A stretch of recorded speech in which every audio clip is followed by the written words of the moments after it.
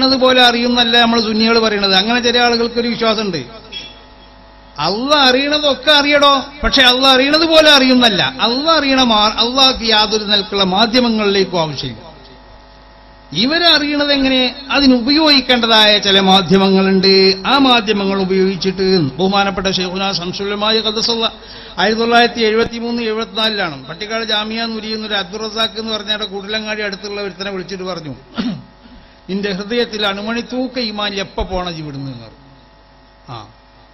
അന്ന് ഉസ്താമാര് മുഴുവനും മൂപ്പരോട് പറഞ്ഞു ഇവൻ നല്ല കുട്ടിയാണ്. കോളേജ് കമ്മിറ്റിന്റെ ആളുകളൊക്കെ പറഞ്ഞു ഇവൻ നല്ല കുട്ടിയാണെന്ന്. അപ്പൊ അവരോടൊക്കെ പറഞ്ഞു ഞങ്ങൾ പരീക്കൊണ്ടിക്കോളൂ ഇതിനുള്ളു പറ്റൂല. അവിടുന്ന് ഒരു പത്ത് ദിവസം കഴിഞ്ഞപ്പോൾ ഇവൻ ഒരു ക്രിസ്ത്യാനിയായിട്ട് ഈ അബ്ദുറസാക്ക് ഇത് ഫാദർ അലവിനെ പറ്റിയല്ലോടോ പറയണത്? അബ്ദുറസാക്ക് എന്ന് പറഞ്ഞ ഒരുത്തനെ പറ്റിയ. അവൻ കോളേജിന്റെ മുന്നിൽ വന്നിട്ട് ഒരു ജീപ്പിന്റെ മുകളിൽ കയറിയിട്ട് സുവിശേഷ പ്രസംഗം നടത്തുകയാണ്. അപ്പൊ ഷെയ്ഖുനാനോട് പലരും ചെന്ന് പറഞ്ഞു ഷെയ്ഖുനെ പുറത്താക്കി അവൻ അതാ പിന്നെ ജീപ്പിന്റെ മേലെ കയറിയിട്ട് സുവിശേഷ പ്രസംഗം. അപ്പൊ ഷെയ്ഖുന പറഞ്ഞു എനിക്കടാ അന്ന് തന്നെ ഉറപ്പുള്ളൂ അതുകൊണ്ടല്ലേ അവന്റെ ഹൃദയത്തിൽ ഈമാനില്ല എന്ന് ഞാൻ പറഞ്ഞത്. അപ്പൊ ഹൃദയത്തിലേക്ക് നോക്കി ഹൃദയത്തിൽ ഈമാനില്ല എന്ന് പറയാനുള്ള അതിന്റെ ചില മാധ്യമങ്ങളുണ്ട്.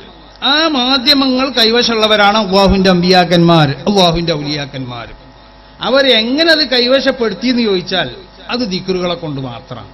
അത് ദിക്റു റുക്കുനും കവിയുൻ ഫീ തരീഖിൽ ഉസൂരി ഇലൽ ഹഖി തആല അള്ളാഹുവിലേക്ക് ചെന്നെത്തണോ എന്താ ചെന്നെത്തുക എന്ന് പറഞ്ഞാൽ ലൈസൽ മുറാദു ബിൽ ഉസൂലി ഇലല്ലാഹി ഇത്തിസാല ദാത്തി ബിദ്ദാത്ത് അള്ളാഹുവിലേക്ക് ചെന്നെത്തുക എന്ന് പറഞ്ഞാൽ അന്റെ ശരീരവും അള്ളാഹുവിന്റെ വിശുദ്ധമായ ദാത്തും തമ്മിൽ എന്തല്ല ചേർന്ന് നിൽക്കുക എന്നല്ല ഈ മരിച്ചു പോകാന്നുമല്ല അള്ളാഹുലേക്ക് ചെന്നെത്തുക എന്ന് പറഞ്ഞാൽ ബലിൽ മുറാദു ബിഹി മുഷാഹദത്തു അസ്റാറി റുബൂബിയത്തി വ ഫൈളാനുൽ മആരിഫിൽ ഇലാഹിയ ലോകത്ത് അള്ളാഹു സുബാനുഭൂവത്താല റബ്ബാണ് എന്നതിന്റെ മേൽ അറിയിക്കണ ഒരുപാട് ദൃഷ്ടാന്തങ്ങൾ അള്ളാഹു സുബാനുഭൂവത്താല അവിടെ വിന്യസിച്ചിട്ടുണ്ടോ? ഇത് ഈ ഇരുന്ന ഇരിപ്പിൽ നിന്ന് കടലിന്റെ അടിയിലുള്ളത് എന്താന്നുള്ളത് മനസ്സിലാക്കേണ്ടതായ ഒരു ഘട്ടം വന്നാൽ അതിനെ മനസ്സിലാക്കാൻ അതിന്റെ മാധ്യമങ്ങൾ ഉപയോഗിച്ചുകൊണ്ട് മനസ്സിലാക്കാനുള്ള ആ മാധ്യമം ഒരു മനുഷ്യന്റെ കയ്യിലെത്തുകയാണ്. മലവെള്ളം കുത്തിവഴുകി വരുന്നത് പോലെ അവന്റെ ഹൃദയത്തിലേക്ക് അള്ളാഹു സുബാനുഭൂവത്താല ഇൽമുകൾ അങ്ങനെ ചൊരിഞ്ഞു കൊടുക്കുക. ശരീരത്തിന്റെ ഇൽമല്ലാത്ത മറ്റൊരു ഇൽമ എന്നല്ല. അങ്ങനെ ചില ആളുകൾ പറഞ്ഞിട്ടുണ്ട് ഞങ്ങൾ ശരീരത്ത് വേറെയാണ് ഞങ്ങൾ ഔലിയാക്കന്മാര് വേറെയാണ് വേറൊരു കൂട്ടരാണെന്ന്. ഉള്ളവനാണ് ഒലിയ എന്ന് പറഞ്ഞത്. അല്ലാത്തത് മുഴുവണ്ടല്ലോ. ഒന്നും അതിൽപ്പെട്ടതല്ല. ഇനി എവിടെ എത്ര വലിയത് കെട്ടിപ്പൊക്കി വലിയ പള്ളി കെട്ടിയാലും വലിയ സാധനങ്ങൾ കെട്ടി കുറെ ആളുകൾ അങ്ങോട്ട് പോയാലും അതൊക്കെ ശൈത്താന്മാർ തന്നെയാണ്. അത് എവിടെ ഉണ്ടായാലും ശരി. അതൊക്കെ കള്ളന്മാരാണ്. യാതൊരു സംശയമില്ല അപ്പൊ അള്ളാഹുവിന്റെ ഔലിയാക്കന്മാർ എന്ന് പറഞ്ഞാൽ ബഹുമാനപ്പെട്ട റിഫായി ഷേഖ് തങ്ങൾ പറഞ്ഞില്ലേ മുത്തസവ്വിഫ ഈ സൂഫിയാക്കളാവുന്ന അഭിനയിച്ചുകൊണ്ടുള്ള ചില കള്ളന്മാരുണ്ട്.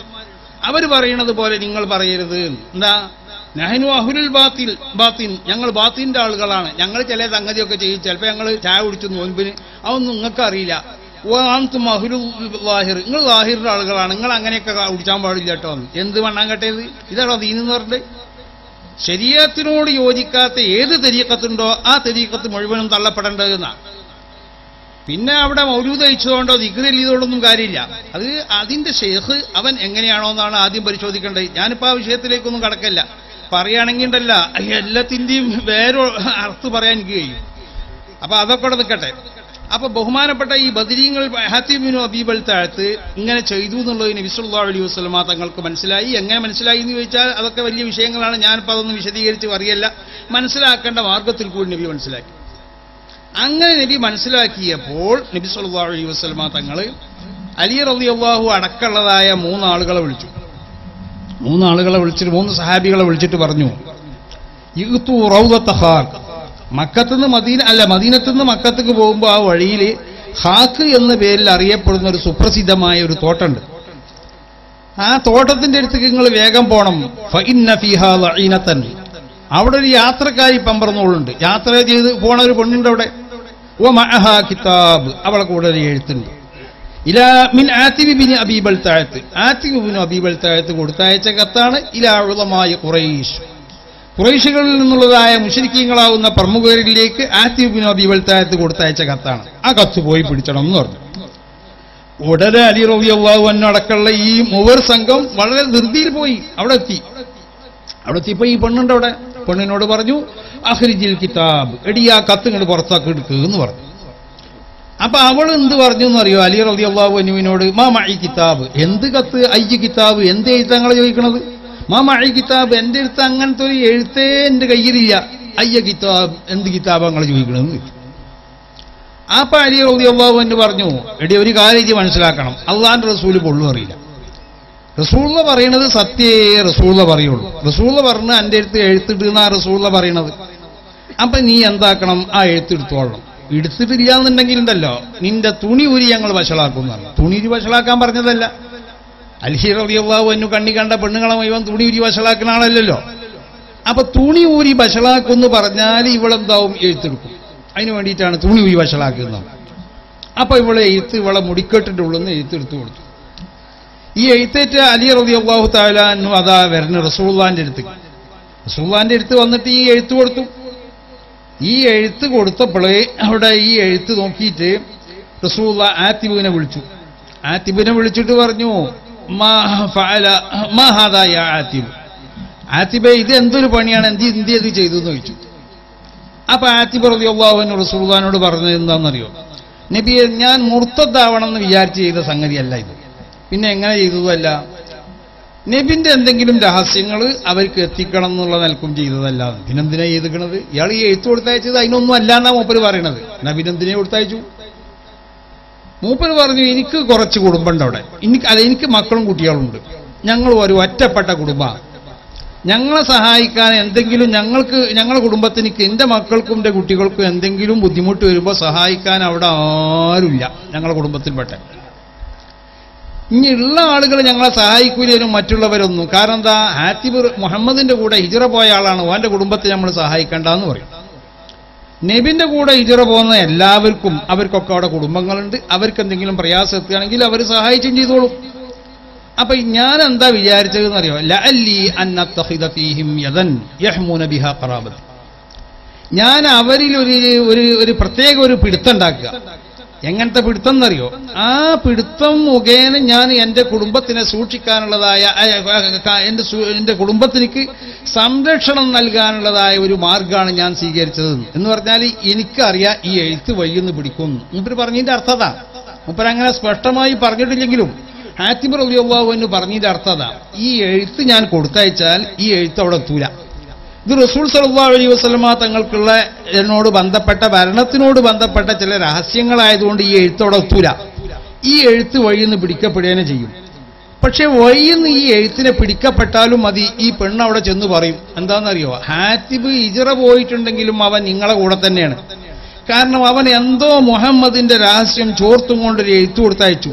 അതുകൊണ്ടാണ് ആ എഴുത്ത് വഴിയിൽ നിന്ന് പിടിക്കപ്പെട്ടത് അപ്പൊ മുഹമ്മദിന്റെ ഈ ആത്തിബിന്റെ കുടുംബത്തിനെ നിങ്ങൾ സഹായിക്കണം. കാരണം അവൻ നമ്മളെ കൂടെ തന്നെ ഉള്ളത് അവന്റെ മനസ്സൊക്കെ ഇവിടെ തന്നെയാണ് നമ്മളൊപ്പം ഉള്ളത് അവൻ കണ്ടില്ലേ മുഹമ്മദിന്റെ രഹസ്യം നമ്മൾക്ക് കൊടുത്തയച്ചല്ലോ കൊടുത്തയച്ചത് നമുക്ക് ഇങ്ങോട്ട് എത്തിക്കാൻ കഴിഞ്ഞില്ല. കാരണം എന്താ? അത് വഴിയിൽ നിന്ന് പിടിക്കപ്പെട്ടു പോയി.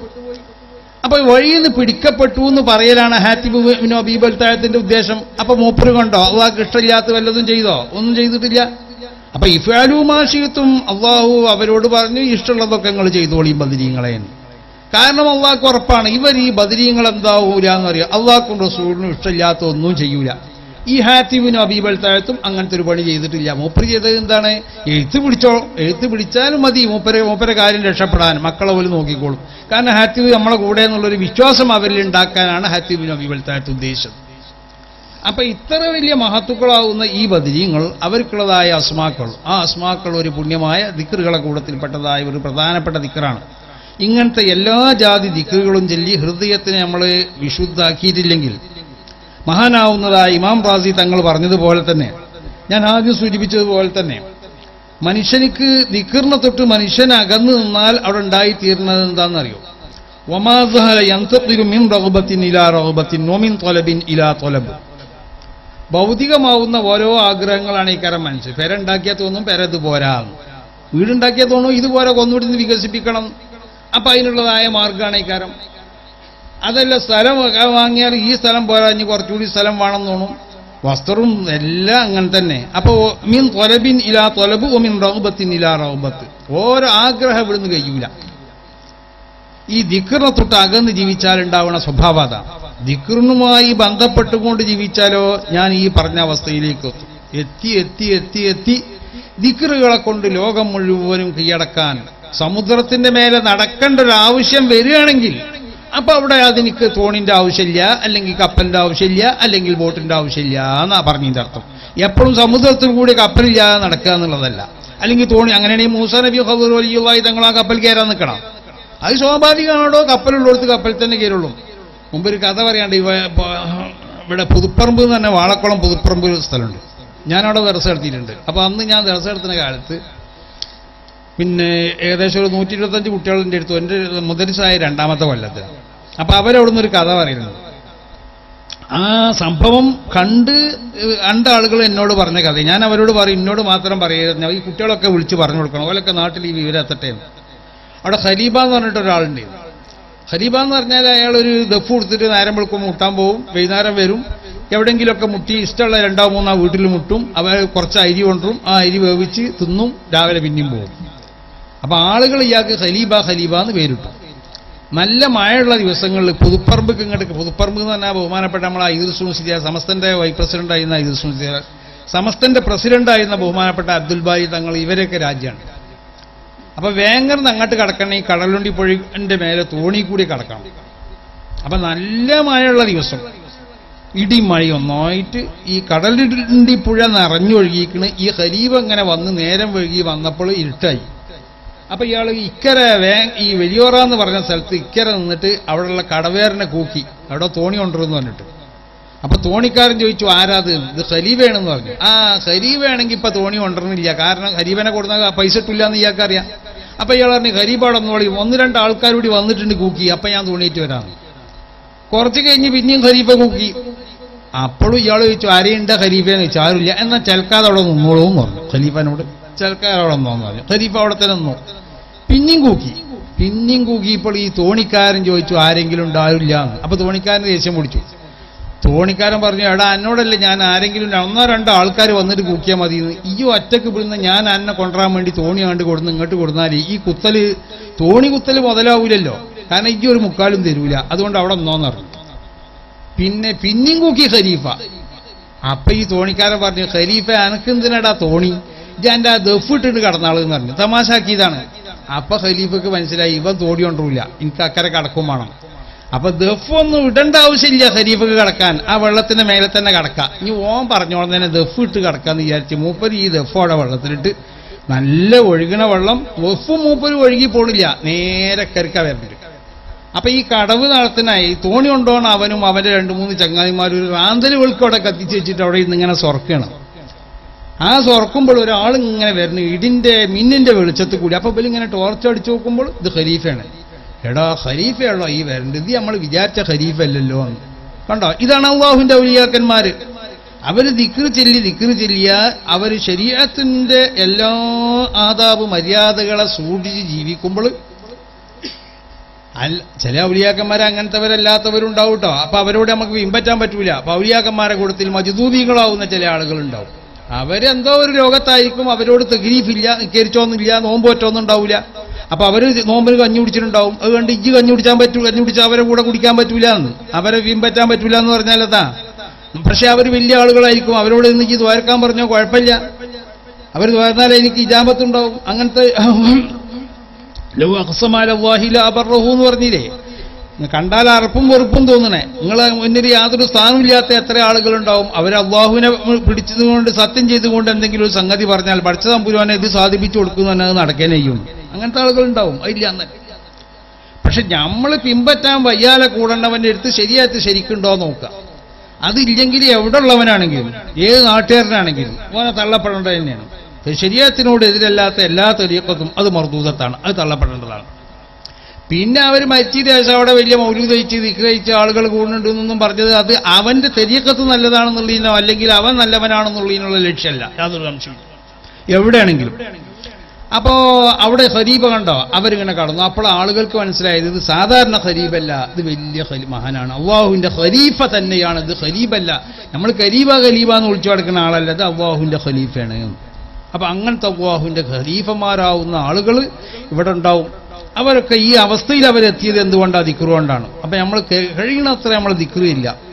അതാണ് ബതുക്കുറുനി അള്ളാഹു സുബാനുഭവത്താലാക്കങ്ങൾ നിക്രിയലിയാൽ അത് കുറുക്കും. അള്ളാഹു സുബാനുഭവത്താല പ്രത്യേകമാവുന്ന ഒരു ശ്രദ്ധ നമ്മളെ മേലുണ്ടാവും എപ്പോഴും നമ്മളെ ശ്രദ്ധിച്ചുകൊണ്ടേയിരിക്കും. നമുക്ക് വേണ്ട നമ്മളെ ആരോഗ്യം നമ്മുടെ റിസ്ക് നമ്മളോട് ബന്ധപ്പെട്ട സർവസ്വത്തിലും മഹാന്മാരാവുന്ന മശായഹന്മാർ രേഖപ്പെടുത്തിയതുപോലെ ആയിരത്തി ചില്ലാനം ഗുണങ്ങളാണ് ദാക്കിർനിക്ക് രേഖപ്പെടുത്തപ്പെട്ടത്. അങ്ങനത്തെ ഗുണങ്ങളൊക്കെ നമ്മൾക്കുണ്ടാവും. അപ്പൊ അതുകൊണ്ട് നമ്മൾ മനസ്സിലാക്കേണ്ടത് ഈ ബജിരിസ്വനൂർ എന്ന് പറഞ്ഞ ഈ ദിക്കറ് അത് മഹാന്മാരാവുന്നതായ ബദരീങ്ങൾക്കുള്ളതായ വിശുദ്ധമാവുന്ന ആ അസ്മാക്കളാണ് ആ അസ്മാക്കൾ ചെല്ലി ആ അസ്മാക്കളെ കൊണ്ടുള്ളതായ തവസ്സുലാണ്. ഇത് അലി വസ്ലമ തങ്ങളെ കാലഘട്ടത്തിൽ തന്നെ മഹതികളാവുന്ന സഹാബത്ത് മറ്റൊരു രൂപത്തിൽ അത് ചെയ്തു പോകുന്നതായിരുന്നു. അലി വസ്ലമ തങ്ങൾ അതിനെ അംഗീകരിച്ചിട്ടുണ്ട്. ഇത് പഴയ കാലത്തൊക്കെ നമ്മളെ നാടുകളിലൊക്കെ ഇത് എല്ലാ വീടുകളിലും ചെല്ലലുണ്ടായിരുന്നു. അതനുസരിച്ച് നമ്മളെ വീട്ടുകളിലൊക്കെ വർക്കത്തുണ്ടായിരുന്നു ഇന്ന് വർക്കത്തിനെ പൂർണമായും ഉയർത്തപ്പെട്ടു. സമ്പത്ത് എല്ലാവർക്കും കിട്ടി. എല്ലാവരും പരിശോധിച്ച് നോക്കിയാൽ ഇഷ്ടമാതിരി പൈസ എല്ലാവരും എടുത്തുണ്ടാവും പക്ഷെ ബർക്കത്ത് നമ്മളെ പൈസയില്ല. നമുക്ക് വസ്ത്രം വാങ്ങിയിട്ട് തയ്യണില്ല നമുക്ക് ചെരുപ്പ് വാങ്ങിയിട്ട് തയ്യണില്ല നമുക്ക് ഓരോ സാധനങ്ങൾ പെരെടുത്തിട്ട് നമുക്ക് മതിയാവണില്ല പേരന്റെ സൗകര്യങ്ങൾ നമ്മൾക്ക് മതിയാവണില്ല ഓരോരുത്തർക്കും കാർ വാങ്ങിയിട്ട് മതിയാവണില്ല കാർ അത് പോരാ പിന്നെ മറ്റത് വേണം പിന്നെ മറ്റത് വേണം. കണ്ടില്ലേ? ഒമാസാല യന്ത്രത്തിനുമിൻ റഹുബത്തിനില്ല അങ്ങനെ ഹെലികോപ്റ്റർ വരെ എത്തി പിന്നെ പ്ലെയിൻ വേണം അവൾക്കൊക്കെ എത്താൻ പോവുകയാണ് അപ്പൊ അങ്ങനെയാണ് അതിന്റെ സ്വഭാവങ്ങളൊക്കെ എന്ന് പറഞ്ഞാൽ അപ്പൊ ഇതൊന്നും പറഞ്ഞാൽ അള്ളാഹുവിനെ പേടിച്ച് ദിക്ർ ചൊല്ലി അള്ളാഹു സുബാനുഹുവത്താലയെ സർവസമയത്ത് സ്മരിച്ചു കഴിഞ്ഞാൽ അള്ളാഹു സുബാനുഹുവത്താല അവന്റെ ഓരോ സംഗതിയിലും ഈ ശാസ്ത്ര സാങ്കേതിക ഒരു മാധ്യമങ്ങളും ഉപയോഗിക്കാതെ തന്നെ അവനക്ക് ഇവിടെ എല്ലാം നിർവഹിക്കാൻ കഴിയും യാതൊരു സംശയമില്ല അപ്പൊ അതുകൊണ്ട് അതിന് ഉപകരിക്കുന്നതായ ഒരു മഹത്തായ ദിക്കറാണ് ഈ ദിക്കർ അത് ബഹുമാനപ്പെട്ട നമ്മളെ സുന്നീവൻ സംഘം അതിന്റെ സ്റ്റേറ്റ് കമ്മിറ്റി തീരുമാനിച്ചതിന്റെ അടിസ്ഥാനത്തിൽ കേരളത്തിന്റെ പല ഭാഗങ്ങളിലും അത് നടന്നുകൊണ്ടിരിക്കുകയാണ്. അള്ളാഹു സുബാനുഭവത്താല നമ്മളെ ഇതുപോലുള്ളതായ മജീസുകളൊക്കെ അള്ളാഹു കബൂൾ ചെയ്യട്ടെ. ഇതുപോലുള്ള മജീസുകളിലൊക്കെ പങ്കെടുത്ത് നമ്മളൊക്കെ നമ്മൾക്കുള്ളതായ ഹൃദയത്തിനിക്ക് വിശുദ്ധി ഉണ്ടാക്കി അള്ളാഹുവിലേക്കുള്ളതായ ആ സാമീപ്യം അത് ഉണ്ടാക്കി തീർക്കാൻ വേണ്ടി ഓരോരുത്തരും ശ്രമിക്കണമെന്ന് ഇവിടെ കൂടിയ ഓരോരുത്തരോടും പ്രത്യേകമായി ഉണർത്തിക്കൊണ്ടിട്ട് ബിസ്മില്ലാഹിർ റഹ്മാൻ റഹീം എന്ന അള്ളാഹുവിന്റെ വിശുദ്ധമായ നാമത്തിൽ ഈ യോഗം ഉദ്ഘാടനം ചെയ്തതായി പ്രഖ്യാപിക്കുന്നു. അസ്സാം വലൈക്കും വറഹമത്തല്ലാഹി വാത്തു നിങ്ങൾക്ക് വീഡിയോ ഇഷ്ടപ്പെട്ടെങ്കിൽ സബ്സ്ക്രൈബ് ചെയ്യുക ബെല്ലൈക്കൺ അമർത്തുക.